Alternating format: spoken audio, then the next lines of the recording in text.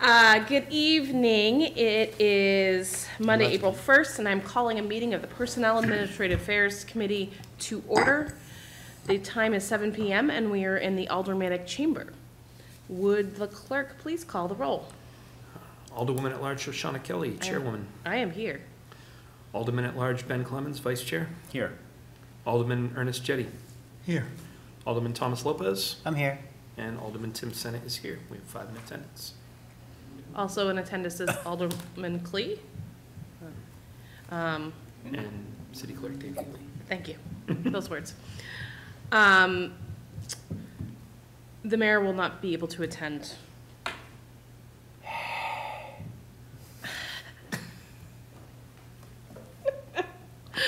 All right, we're gonna go into public comment. There is no public here. Um, Communications, without objection, I will suspend the rules to accept um, a communication from the city clerk um, and place it on file. For interviews, both of our interviewees are unable to attend this evening, and we will be interviewing them in our May meeting. Uh, Application to license hawkers, peddlers, inter- i- iterant, someone needs to help me with that. Itinerant. Vendor's license. There are none.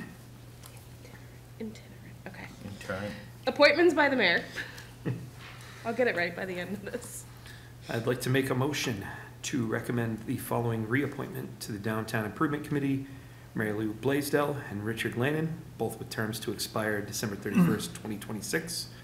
To recommend the following reappointment to the Business and Industrial Development Authority, Carl Andrade, with a term to expire September thirteenth, twenty twenty-five.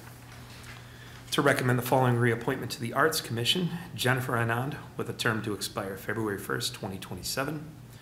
To recommend the following reappointment to the Hunt Memorial Building Board of Trustees, Charles Matthews, with a term to expire December thirty-first, twenty twenty-eight. You've heard the motion. Is there any discussion on that motion? All those in favor say aye. Aye. Any approved? Any opposed? That motion passes. Unfinished business. There is none. New business resolutions. Uh, R twenty-four oh thirty-three, proposing an amendment to the city charter relative to adding two additional members to the Board of Health. The maker of this motion has requested that we table it um, for the public hearing on the 22nd of April. I'm sorry. That we table it for what? We're having the public hearing on April 22nd. So the request was to table it until after the hearing. I haven't made the motion if you'd like to talk on it. Okay, I Okay, think we well, need to make the motion to talk on it. Did And you once wanna it's tabled, once we say table, we can. Oh, can. you're right, I gotcha. Did you want to speak on it, Alderman Kelly? Jette? Should I put it on the floor so we can at least speak on it? So, um, yes, I'd like to say something Sure. about that, if I can. Go ahead and make a motion. Um, All right, I would like to make a motion to recommend final passage of R twenty-four oh thirty-three. Alderman Jette. Thank, so, um, you know, I heard what you said about the maker, uh, or the, the main sponsor, uh, requesting that it be tabled, uh, until after the public hearing. And, you know, and since, since he's not here and no one else is here to talk about it, obviously, we, we, you know, it doesn't make any sense to talk about it tonight, but, um, you know, I'm sorry that that this is happening. I thought that this would be an opportunity uh, for uh, the main sponsor and, uh, you know, to, to uh, explain to us, you know, his reasons, you know, behind, um, you know, making this, uh, this proposal. Um, You know, I'm, I'm in favor of it. You know, I think it makes a lot of sense. Uh, But I think that, um, you know, this is, this is an opportunity to educate the uh, other aldermen and the public, you know, about the reasons for, for doing this. And, um, you know, it, you know, the whole thing about, uh, you know, the charter change as explained to us by the Corporation Counsel, uh, you know, he explained that the quirk, there's a quirk in the state law that requires that we first find that, um, uh, that it, that it's necessary to make a car, a charter change. And, uh, we, we went through this with the, uh, the, uh, when the police, you know, the, the proposal to change the, the makeup of the police commission. Um, You know, it doesn't, it just, it just never made any sense to me that we would vote to, to make a determination that a change is necessary without ever having spoke, uh, talked about it, you know, without ever having discussed it. Uh, You know, when we went through the, the police commission, I, I raised the same issue, but, um, you know, at that time, it- you know, it was just explained, well, this is a quirk in the law and this is the way it has to be done. But that time, we, we didn't have a choice. We had to find it was necessary in order to move it along.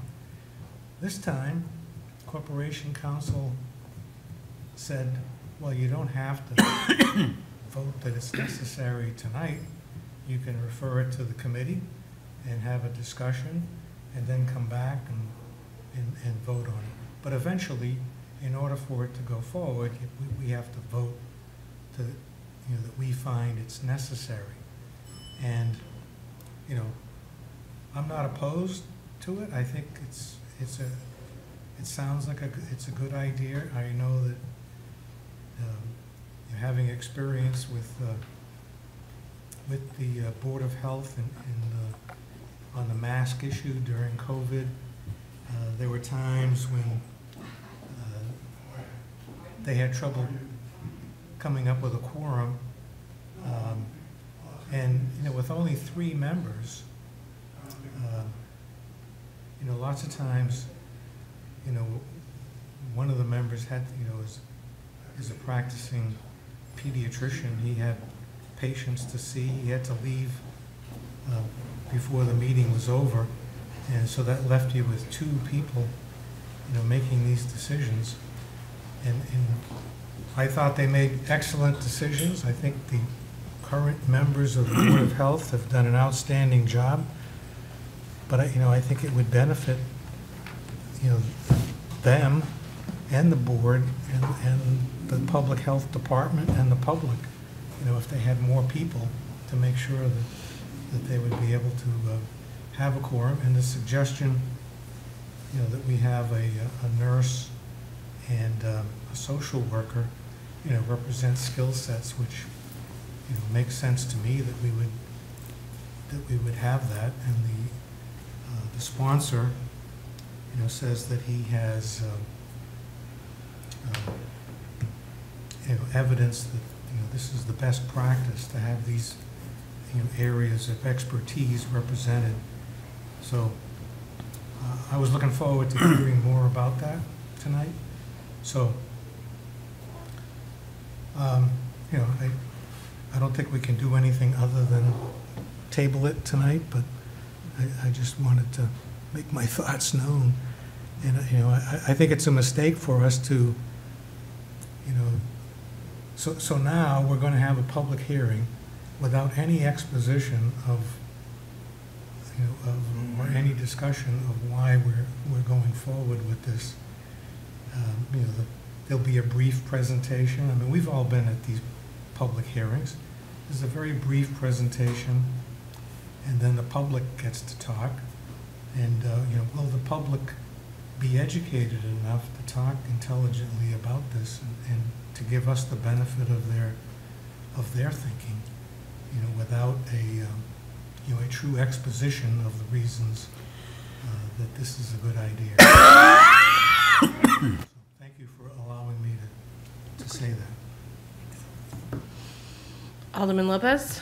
Um, so I'm sure Alderman Jette and Klee and Clemons and Kelly remember, um, I did a very similar piece of legislation the same night we did the police commission, um, and I retracted it. Um, and sort of what was going on behind the scenes was accusations were being made to me that I hadn't talked to the Board of Health about it. They were taking it very, very personally. They were using words like betrayal and, you know, trust and all that kind of stuff. Um, and I said for the record, I had in fact tried to put it on the meeting agenda for three months previously. Um, and I had emails where I requested that, and if, if there had been verbatim minutes at the time, it would have been clear, like, at the end of the meeting preceding that, I was trying to put it on the, I was trying to have a discussion, and they had to go. They were too busy with other stuff, and I had pointed out to them that in that case, unlike this one, we were running out of time to actually put it, uh, do the public hearing, do the, the motion before the alderman, have it go to the committees and all that stuff, before we hit the deadline for how quickly the city could actually put it on a ballot. And I was basically told at that meeting just before it that the Board of Health was planning on uh, taking a recess the following month, so it wouldn't be heard in time.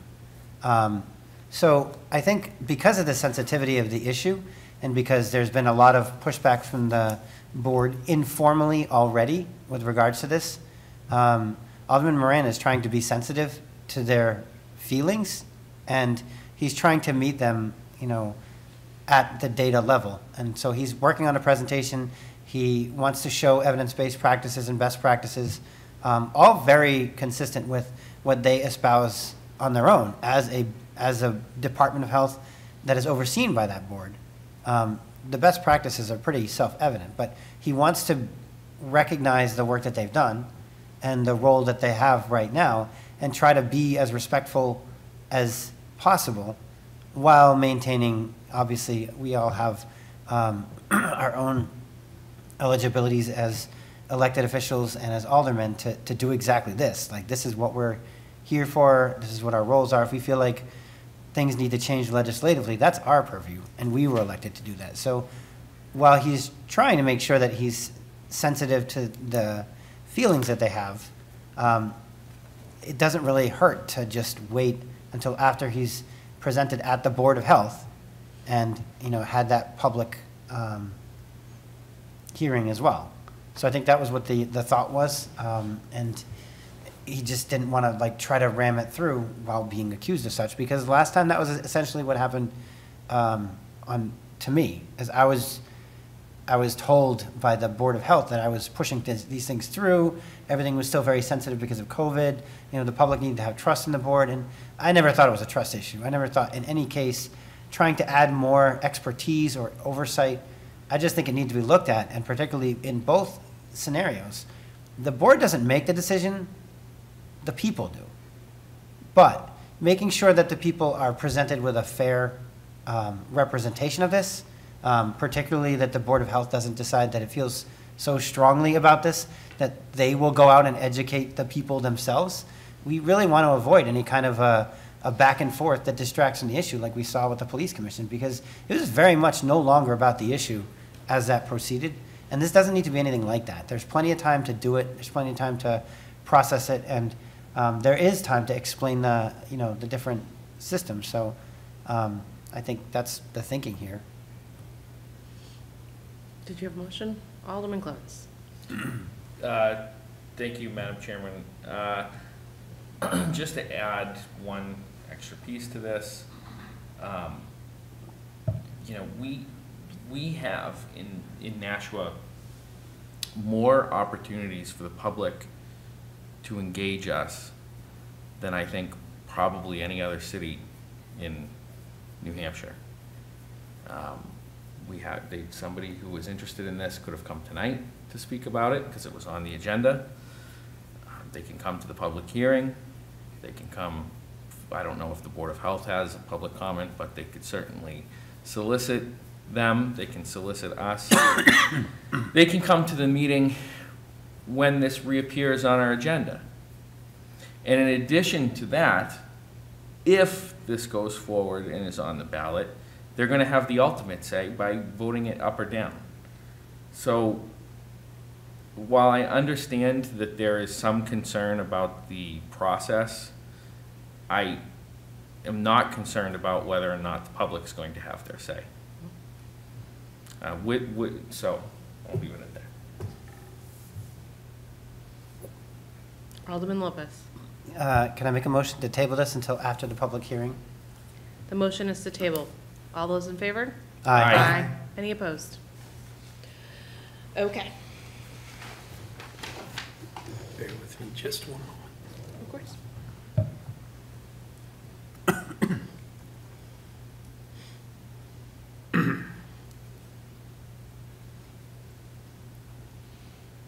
Okay. All right, next up, we have R twenty-four oh thirty-nine, supporting a limited five-year bonding plan. I'd like to make a motion to recommend final passage. Motion on the floor is to recommend final passage. I did receive a message from the mayor's office that he was unable to attend this evening, as well as CFO Griffin, and they requested that we table it until our next meeting. Alderman Clemons? Motion to table. The motion on the floor is to table. All those in favor? Aye. Any opposed? My motion is tabled.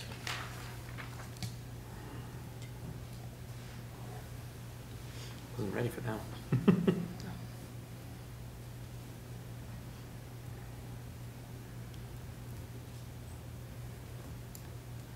Okay. New business ordinances. Uh, We have O twenty-four, zero one twelve, or zero one two, wow.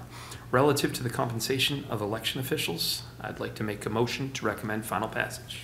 The motion on the floor is to recommend final passage. We did receive um, that spreadsheet, and I know that the main sponsor, Alderman Klee, would like to give us her thoughts to start off.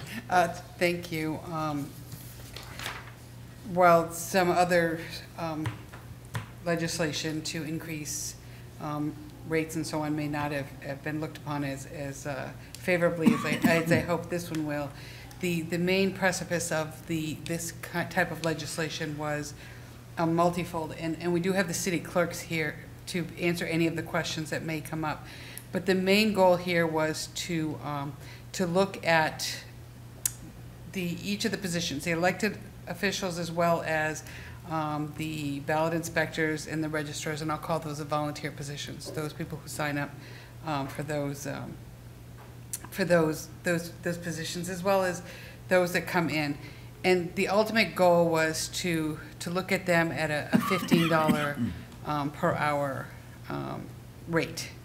Um, And, and the reason for this is that it allows the city clerk to be able to have someone for maybe two hours or four hours or 10 hours or 12 hours or 16 hours, whatever needs to happen, and it would compensate them um, appropriately.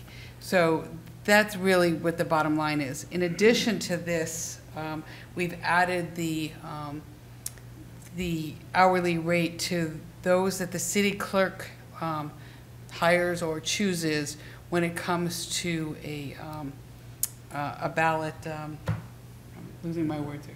Pardon? Recount. Recount, thank you so much, um, uh, City Clerk Haley, um, for a recount. Um, And that was just as, just as important.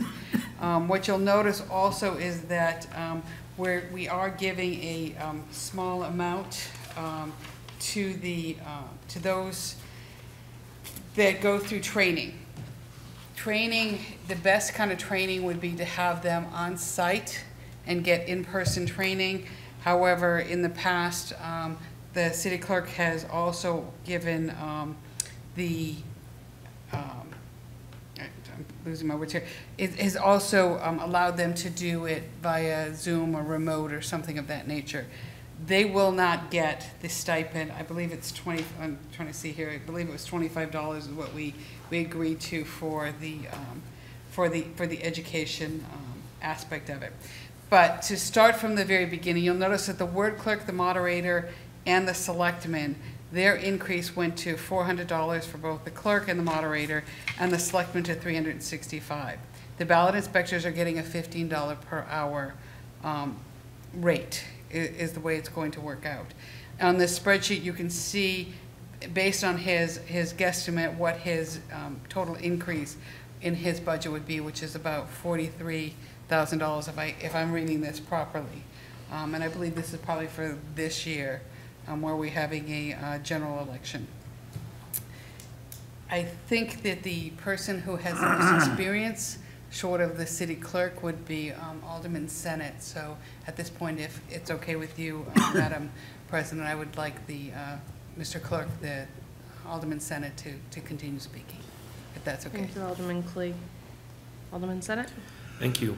Um, So this was one of the, um, the first pieces of legislation that I really wanted to um, roll up my sleeves and get my hands uh, dirty with because, um, as Alderman Klee articulated, this is something that I have a good deal of experience with, um, having spent a few terms over the years as both a um, award moderator, award selectman. Um,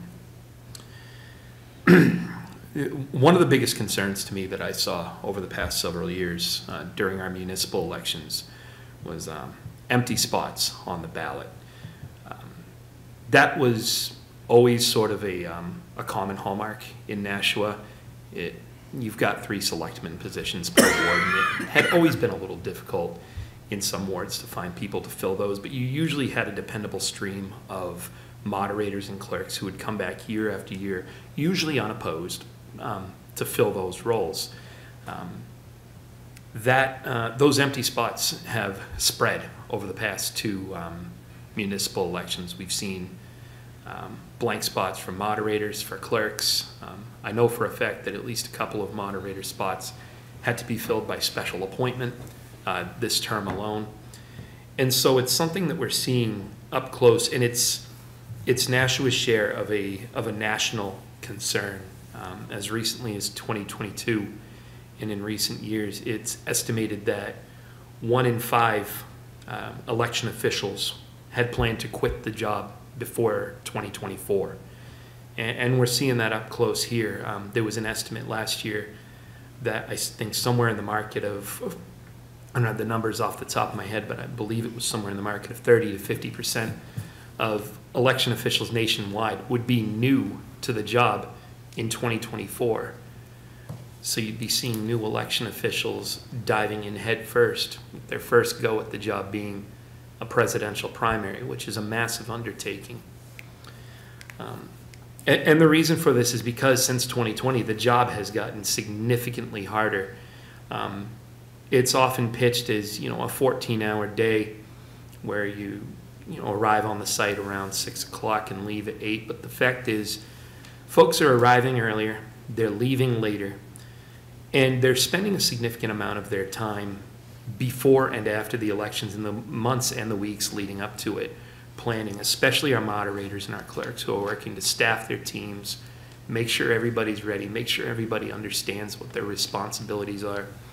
And so this legislation, to me, takes the total package of our clerks and moderators and selectmen, and then our ballot inspectors and our ward registrars, which, to be clear, because I've seen some, um, some confusion on the matter, the, the ward registrars or deputy registrars appointed by the board of registrars who sole purpose on election day is to register new voters.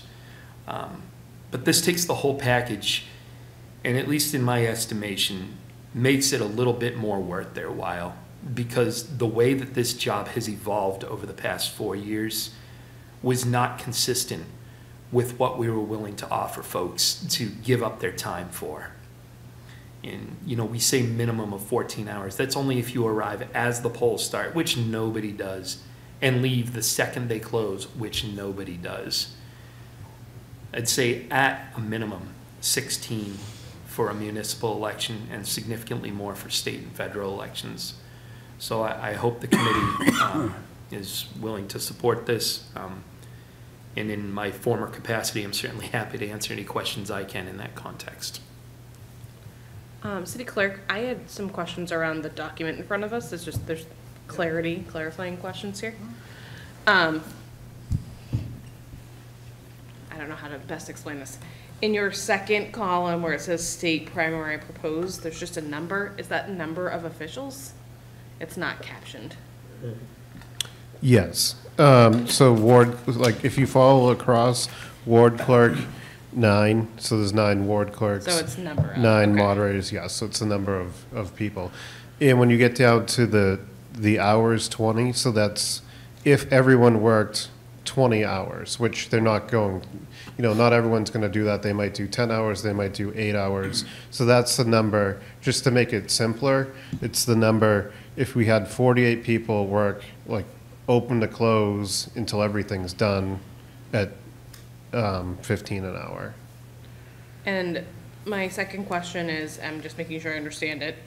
This, it was one seventy-five was a flat fee before, and now Well- you're saying, recommending the hourly? Is Yeah, that so right? what, Okay. one seventy-five was a flat fee, uh, but I would get the timesheets back from some of the polling locations, and you'd have some people work, say, six hours, some work ten hours, and the ordinance only says hundred and seventy-five for the day. So then if you start trying to divide that up to what's fair, it, it becomes very complicated when you Yeah, have someone there from, say, six AM till ten at night, and then you have, say, someone there from, you know, eight o'clock to five o'clock at night in the different hours, and the only guidance really to go with for the payroll is, it's hundred and seventy-five for the full day. And then what ends up being a half-day when you have half-day pay. Because mm. typically, if- like a, a normal workday, you'd work eight hours, mm-hmm. and half a day would be four. Yeah. But for elections, they're working twenty hours, so you're saying that's a full day, and someone that worked ten hours is a half a day. So it kind of, the, the goal on this was to make it less confusing for people that are um, signing up to work, mm. and make it easier on our end for when we're paying them. Because it's, it's, it's really challenging trying to decide Yeah. what each person really should be getting, because it's, it's not clear. So. I am supportive of this. I think our election workers really work really hard. I just wanted to make sure I understood what we were changing and how. The Yeah. only other question I had around that is, do you have any concerns about anomalies if you're now paying hourly? Say, for example, all of our voting machines go down, or there's a huge writing campaign and we have to count every single ballot. Do you have any concern about your budget being completely blown by, you know, something like that happening? I don't think it'd be a significant increase beyond what is proposed here. Okay. Um, There always are those instances. For presidential primary, we did have a, a write-in campaign, and we, we finished around the time we normally do. Okay. But that's a little bit different too, with only one race on the ballot, so it makes it a little bit easier. But I don't anticipate it being significantly higher than this, even, even with those scenarios. Um, Earlier this year, the, the Board of Aldermen, you did approve uh, new tabulators. We're still waiting on those to gain the final certification. Um, So I'll be reaching out to the vendor to see where they are in, in the stages. Um, Once we get those newer tabulators, I expect a lot less issues um, with, with the, the voting tabulators. Another thing just to point out is, the election budget is a budget that, that's gonna fluctuate uh, year to year, just because of the number of elections. So there's an increase this year, but then next year, the only scheduled election, the next fiscal year would be the municipal elections. Then you're gonna have a, a big decrease in the budget. Okay. So it kind of go, it goes up and down. Um, So it's an increase in it, you know, for, for this year, and especially the general election with, with the president on the ballot, that's obviously the busiest election, the election we need the most staff for. So that's the high, on the high end for elections. When you get into the municipal, um, it doesn't cost as much, we need less staff. Um, So it, it kind of varies year to year on the budget. Great, thank you so much. Alderman Klee? Uh, Thank you. I just wanted to, to add a couple things here. Um, So when you look at the ballot inspectors and you see 48, as, as the the clerk was saying, that would be 48 full-time, we always call it FTE, full-time employees. If for some reason everybody was a half-time, that number would go to 96 and so on. But if you look at the little spreadsheet in yellow over there, um, just to kind of put things into perspective, so you would see that there, that um, no matter what, the the clerk, the elected officials are still going to be making more money than those that um, were, um, like the the ballot inspectors and the registrars, those that are volunteer. When I did this, I personally felt that we needed to maintain that, that increase in the difference of it, even though I know they all work very hard. But for someone to actually put their name on the ballot and run for it, I wanted to um, be able to, to say to them, you know, I know it's not a lot more money, but it is something that's a little bit different. And I'd also like, um, if, if I can, to, to have the clerk um, speak to, I believe it was Derry that has also gone to an hourly, is that correct? So they were um, always hourly Uh, Years ago, I believe in 2016, they were 750 an hour. They went up to $10 an hour in 2017-ish, to 2018. And then um, in 2020, they went to 15 an hour. Uh, Their moderator pay uh, went from $150 to 500 per election. So communities, the larger communities are switching to um, a higher rate to attract people to work the election day. Um, You know, some, say, high school students might have the day off, and it's, you know, some extra money too if they come and, and help us. Um, And other people that may have the day off, but uh, they were finding during, during 2020, it was hard to staff polling locations, so they increased the rate. Um, And even now, if you're following any legislation in Concord, there's some bills on election officials and putting in penalties for people, election, you know, even volunteers for that day, if they don't do things right. So it's, it's kind of hard keeping the pay lower and trying to attract these people without kind of increasing the incentive for them. Because we're under more scrutiny um, in the last few years too, so. Alderman Lopez? And then Um, Alderman Jette, I saw you. Yeah, So just a couple quick things. Um, First, just a point of clarification on what you just said, um, high school students, does that mean high school students that are over 18? Or can you be a ballot worker under 18? So, um, anyone under 18, I believe 17-year-olds can work as greeters, and they can do, they can assist at the polling location inside the guardrail, which is the restricted area, ballot clerks, handing out ballots, assistant moderator, things like helping the moderator, helping the clerk, that would have to be 18, Okay. yeah. Um, I can definitely see the logic of trying to make sure that we're we're pinning this to an hourly instead of uh, a flat rate. Uh, Having worked the polls forever ago myself, um, it's almost a disincentive to work the full shift because once you uh, commit to that longer shift, you don't know how long it's going to end. Um, So I think where nerves might get frayed, people might have a long day, knowing that they, they are staying later but they're getting paid hourly, I think that probably is a little bit of a reassurance and maybe reduces the frustration and burnout. Um, I appreciate the, uh, the writer of the, um, the motion's um, intentions in terms of making sure that the elected officials are recognized for the extra work that they do. Um, I would, however, point out that, of course, my ward has to be the one that had a selectman who essentially found out the day of that one of the positions was empty, staged what has to have been the smallest write-in campaign ever, and won with like three votes and debated whether or not we could do three votes. So it's not always a given. Um, and so I just want to state that I- like the, has been said already, all poll workers are working, uh, whether they were elected or uh, hourly, and their, their efforts are appreciated and they're central to democracy. Um, To the, uh, the maker of the uh, original motion, um, I just wanted to ask, um, the previous uh, legislation was referenced where we pinned the compensation for elected officials on the CPI. Um, How come that wasn't considered here, or was it considered? I- I, if I may, Madam? Alderman Gleason. I, I think I, I did kind of uh, bring this up as to whether or not we wanted to complicate it and, and um, tie it to the CPI. I am not against it. I don't recall, I know we had the conversation, and I, I think we decided against it, that we would look at this every couple of years. The, the last time this was increased, I think, was 2016, so it's been Correct. eight, it's been eight years since it's, it's been reviewed. So I don't have any problems with putting this in, but um, I think I'd like the city clerk to weigh in on that. I'm, I'm not opposed to it either. I think we're looking at this as a good starting point, to at least shift it to hourly and then see on this rate, see how many people we attract at the fifteen an hour and see if the, the poll workers um, prefer this over the, the previous um, way that we're paying them.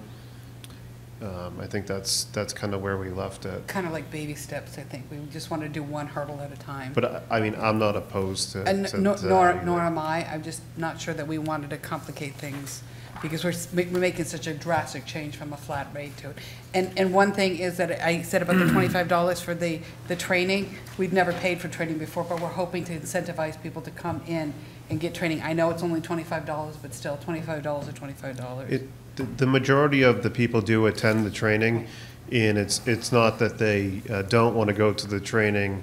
Um, We have a, a training during the day, and then we have an evening training. And leading up to the election, with all the other responsibilities, we can't be doing trainings every single day for, for um, someone that can't make it. So we do have the PowerPoint available. Uh, Anyone that's new, we really try to get them to the training. Anyone that's been doing it a few years, um, they just kind of need a refresher and they can't make the training, the PowerPoint's a good resource. We do have um, moderators that will sit down with their people that they hire for their wards and go over some of the, the more technical questions if they have it. Um, and I have sat with some election of, um, workers in my office and gone over training, but we do try to get everyone to attend the training, but just with different schedules, uh, it's not always possible. And we don't want to turn down someone just because they couldn't come for those few hours. That's right. Alderman Clemons, did you have anything? Yeah, Alderman Or was Jette. Alderman Jette next? no, Sorry. go ahead. Alderman Jette. You're Thank right you. where I can't see you, I so. know, it is, it's difficult. Just knock this down. Um, Yeah. So I have a, a few questions. um, So i- is there a, know, when we uh, start paying these people um, on an hourly basis, the, uh, is there some kind of an exception that exempts them from the, the labor laws, you know, workers' comp and all that stuff? We, I did um, review this with the HR department, and there's nothing in, in this that they think is going to cause an issue with that. Okay. Yeah, I continue. Um, Go ahead, Alderman Jette. So I, you know, having done this myself, um, I know that, um, you know, most, you know, the- the- yeah, most of the people get, as you pointed out, get there before, uh, you know, the six o'clock start time, or the, uh, when the polls open, you know, you know, most of them are there before five o'clock. You know, the, you know, the moderator and the, uh, you know, the clerk, I, I, I- haven't done it myself, but I've, I've heard them talk about coming to City Hall and picking up the, you know, you know, the ballots and supplies or whatever. You know, and so they, you know, they're doing that in the middle of the night, I think, along. Yes, so- With you, Th- They're arriving um, anywhere between like four and 4:30 in the morning is when they get the supplies. So with, with the, the people who are being paid hourly, the, um, the ballot inspectors and the, um, uh, and the registrars, but I'm thinking specifically the ballot inspectors who, who are not elected, they're just hired for the, for the day.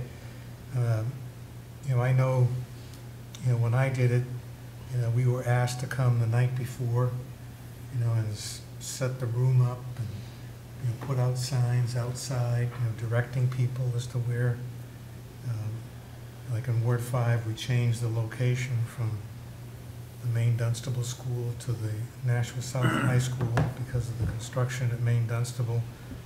And, uh, so, you know, we were out there in the middle of the night putting signs up, you know, trying to help people find the, the right place. So I'm, I'm wondering, why, why not pay those people for that uh, that extra prep, the prep time, the, you know, the day before, and then afterwards, you know, uh, you know, I suppose, you know, when they, when they tear down, that's probably included in the election day configuration, but, you know, what, what about, why, why didn't you include the, um, the, the night before when they set up the room and stuff? City Clerk Keely? Yeah, so the history on that is that portion has never been paid.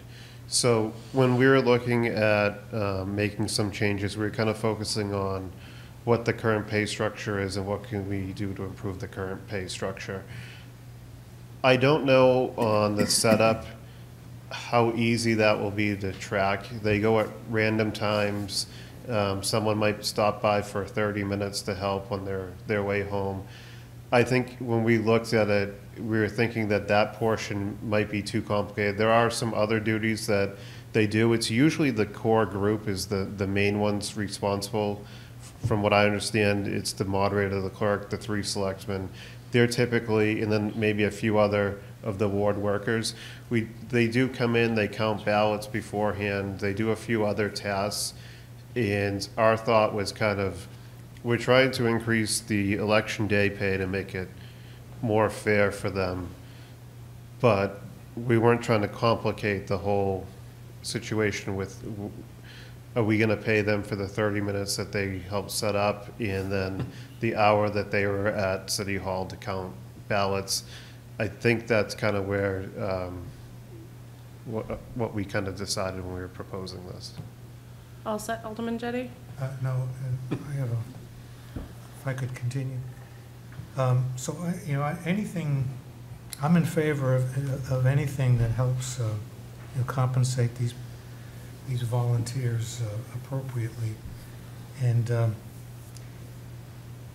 you know, when, you know, when, when I hear Alderman Sennott, uh, you know, point out the difficulty in finding people to do this, you know, especially uh, finding people to run for the, for, uh, you know, the uh, moderator and clerk, selectman positions.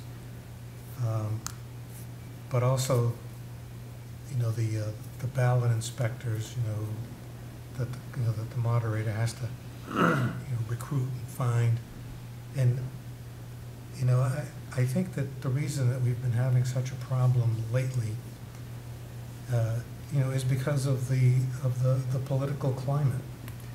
Um, You know, I've, you know, bef- long before I became an alderman, I, I served uh, in ma- many presidential elections as a voter protection attorney, you know, where I was you know, trained uh, in, in the, uh, the, you know, the voter laws, and uh, know, we're, part of a, a group of volunteer attorneys who, who uh, were assigned uh, to different polls, you know, to make sure that, you know, that anybody who was legally entitled to vote got a chance to vote.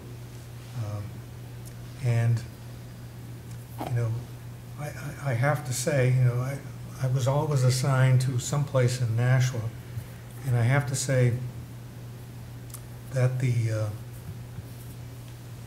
you know, the, you know, all of the moderators, selectmen, uh, ballot inspectors, registrars that, that I worked with, you know, were all uh, sincerely interested in, in one thing, and that was, you know, to make sure that everybody who was entitled to vote got to vote, and that, the- you know, that the elections were run, um, you know, according to, to law. And, um, and, and I, you know, I, I always saw that. I did witness, uh, you know, people, not, not the moderators, the selectmen, or the ballot inspectors, or registrars, any of those people, but outside people, you know, trying to interfere with the process uh, by raising uh, illegitimate issues. And, uh, you know, I, I remember one year I was assigned to Ward Three, and, uh, and, and there were some, uh, some people there who, uh, c- you know, came from out of the blue and started, uh, you know, standing beh- behind every, uh, every ballot inspector, and they challenged every voter. And, and, and as a result, uh, the lines just got really long. And, uh, you know, the city clerk came, the, uh, someone from the Attorney General's office came and, and put a stop to that, uh, to to that type of thing. Um, You know, lately, it's, it's got, it's gotten worse, you know, with people, you know, making false claims about, uh, you know, elections being stolen, you know, people stuffing ballot boxes, not counting the ballots uh, correctly, you know, all, of- you know, all of that kind of stuff. And, and, and, uh, you know, and threats uh, to people that we've seen, uh, uh, you know, recently, you know, have, have made people afraid uh, to, to, to work at the polls. You know, a lot of people are finding some way to cast an absentee ballot because they're afraid to go physically appear at the, at the polling place. Um, So, you know, anything we can do to increase the compensation, to make it more attractive, I think is a good thing. Uh, I don't think it's going to necessarily solve uh, the problem. We have to find some way to recognize, you know, that these people are really heroes. Um, You know, they are what is making our democracy work, and, and I, I, you know, anyone who is, is uh, interested in seeing how democracy works and being a part of government, you know, there are a lot of people who are sincerely interested, but, you know, they just don't have the time to run for office. Well, this is a great opportunity to be of service, um, you know, to be on the inside of how the whole process works, and to be, and to be part, you know, of, of making, you know, an essential form of our democratic government uh, work. And that is by volunteering to be a ballot inspector. And, You know, you, you don't have to commit to the whole day. There, you know, most of the, I- know the moderator in my ward allows people to do, you know, uh, half-days.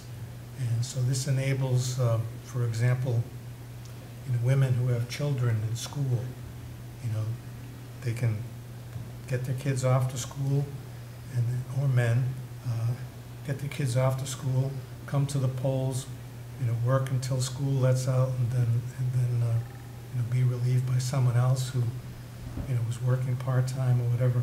So there, there are a lot of ways, you know, without having to make a full commitment for the full, you know, you know, fourteen or eighteen-hour day, um, that, you know, that you can, you can serve. And we really need, you know, people to step forward and, um, you know, and, and uh, tell the world, you know, we're, we're, you know, we, we believe in our democracy, and we're going to come forward and, uh, and do our part to make sure that, that it works.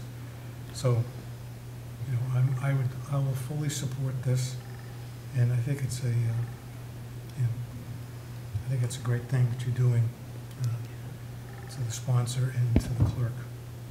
Thank you. Great. I have a list, so I have Alderman Clemons next. Uh, no, I'm all set. I'll, Okay. thank you. All set. Then I have Alderman Klee.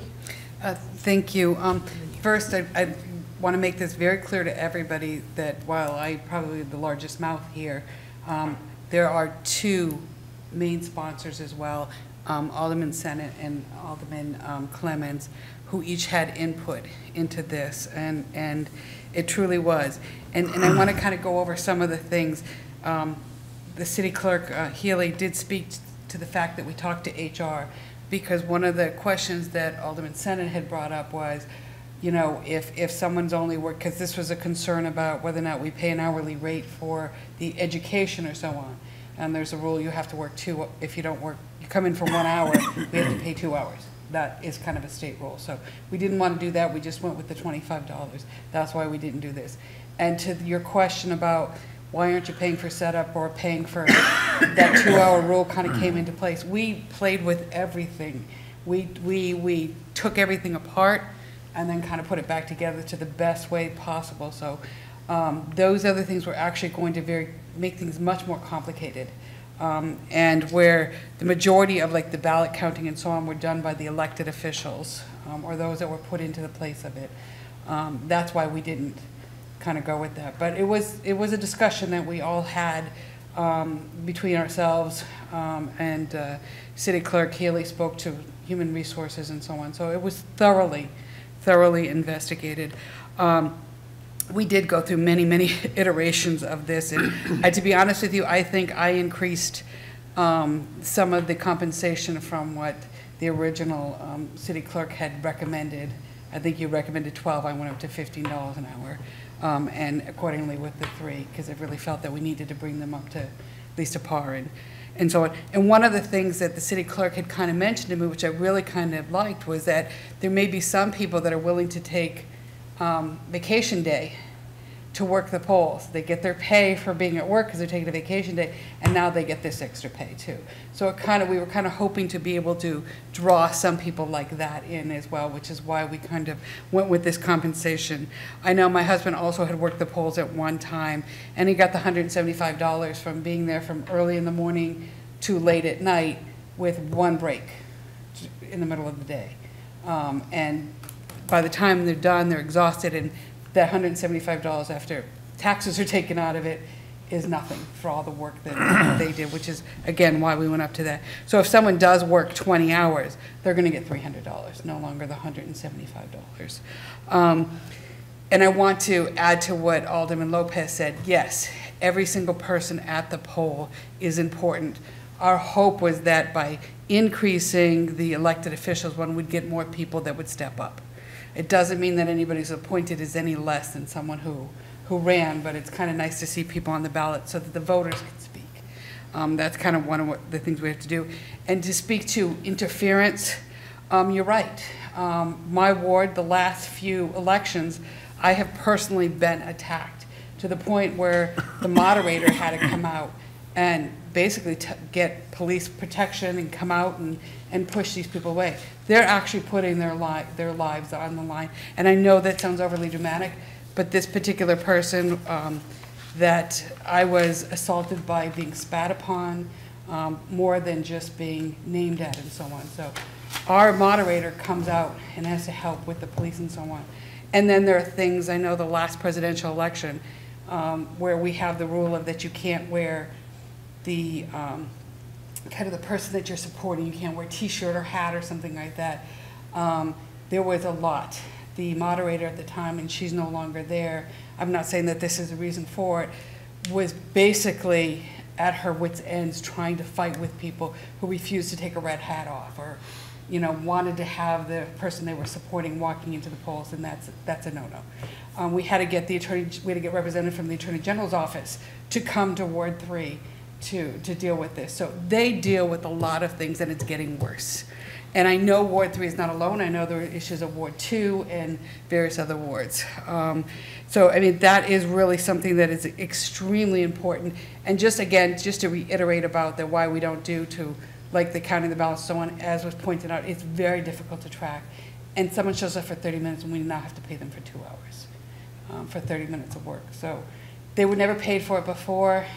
We've increased this as an incentive and so on. So I think the baby steps and whether sometime down the road we tie it to CPI, that would be, you know, maybe something that'd be nice, but let's see how this works first.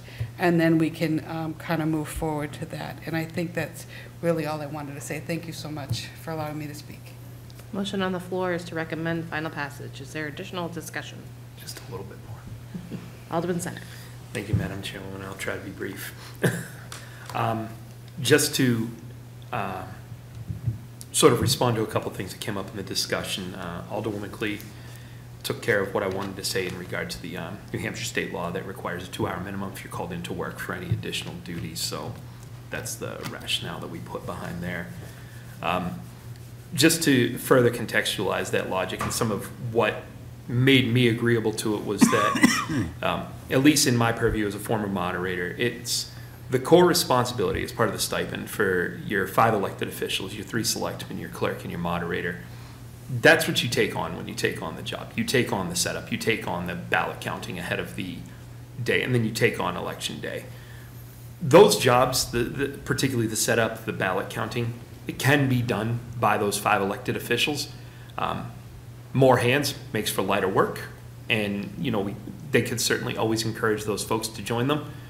But at least the way I see it, mandatory for those five. If you can get more hands willing to volunteer a bit of their time, great. It'll probably take half an hour, 45 minutes to count the ballots. We're usually out of there in about an hour for setup. Um, in regard to some of the questions that were brought up in terms of, you know, if we have a write-in campaign, something to that effect, uh, I, I can only speak to how we've always done things in Ward 7, but I'm sure it's similar in other wards that as the night goes on after that 8 o'clock hour and we're working through the write-ins and we're working through the hand count ballots that we have to do, we, we reduce our footprint and we pare down. And so as we're getting less people on the tables and less hands on the ballots, it's up to the moderator's discretion to go, you know, Ben, you can leave for the night, Ernest, you can leave for the night.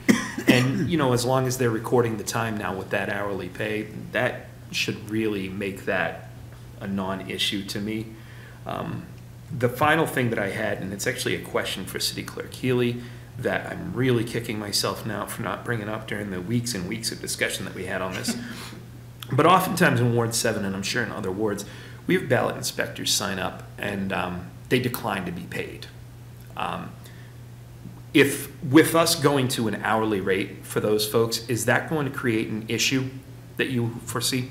City clerk? No, so on here, on this sheet is the amount that we're budgeting to be paid. So if you do have people that are willing to um, spend the day or spend a few hours at the polling location and not be paid, that wouldn't change anything on here. Um, You're not the only ward that has some of these um, volunteers. Um, We submit the names to payroll, and I try to track, I go in and I make sure that they have an ID number, and the ones that don't, um, payroll starts to reach out to, and, and city clerk's office starts to reach out to, if they're not marked as not wanting pay, and, and sometimes what happens is they say they, they just didn't, they didn't come in to do the paperwork because they're not looking for pay, so, once they say that, once we have a statement from them saying that they don't wish to be paid, um, that's all we need on, on that. Great. Great. And, and that's really just my final point is that th- those people are out there in probably all nine wards. And, you know, I mean, you, you can kind of look at that as a budgetary win, but that kind of looks, the way I look at it is sort of my final word on the matter, which is ir- irrespective of what numbers are on this entire package, I can guarantee you that anybody that signs up for it is not doing it for the money. And that's really what the focus is here. All right, motion on the floor is for fun. Oh, go ahead. I ahead. just have one more quick thing. So, City clerk. what I've always done um, with election, with people that are questioning elections, or, you know, the counting at the end, the tallying, is we ask them to come and actually work at the polling location. So anyone out there that might be watching this, Nashua resident, if you're questioning results in past elections, you want to see the process, uh, sign up uh, to help on election day, and we can put you in a role where you're counting at the end of the night. You're doing, taking part in the tallying, so you can actually see everything that's going on. This past election, I spent the majority of the day at Ward Two because they were a little short-staffed. And kind of what I've trained at that location is, you know, when you're doing different tasks, just announce what you're doing to the public to, to make it more transparent. When you're opening the absentee ballots at the end of the night, when we're looking for the write-ins, and we're making different piles. We're putting this in this pile right now because it's a vote for this person, and it's a vote, we're just separating it. So I've tried to stress the transparency to the, the poll workers, but still anyone that's questioning the process, um, we always need more help on election day. So reach out to the city clerk's office, um, and then I can direct you to that moderator to actually sign up for a position, or um, doing the voter registration, we take in the names and we submit it to the, to the registrars. So anyone that is interested, that's a good way to, you know, kind of see the full process. Motion is for, to recommend final passage. All those in favor? Aye. Any opposed? That motion passes. Thank you. Thank you for being here, City Clerk. All right, tabled in committee. There's none. Uh, We're going into public comment. Is it, if you are here and would like to speak to the members of the committee, please come to the podium, state your name and address, and you'll have three minutes to give testimony.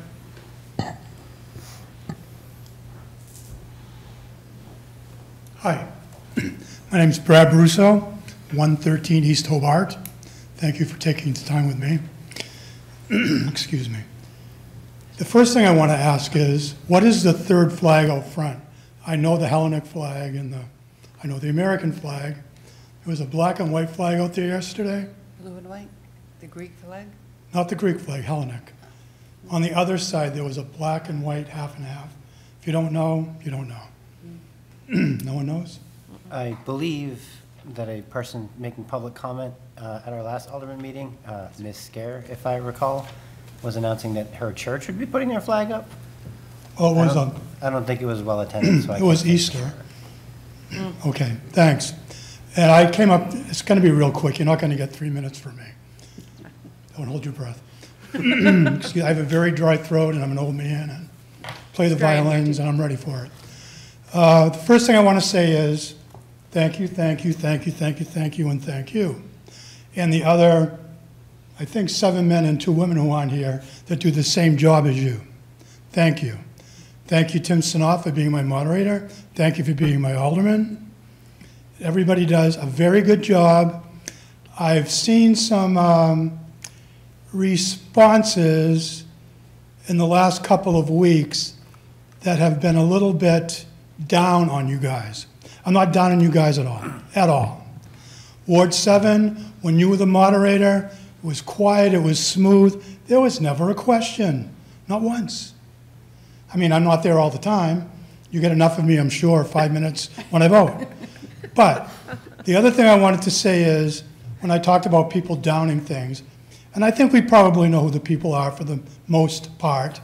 I understand the issue with, is it Arrow Lane or some Archer Lane? Archer. There was some issue with that. Before them, there were, I guess it was the number, the number, the last meeting I recall was five people. You all know who they are.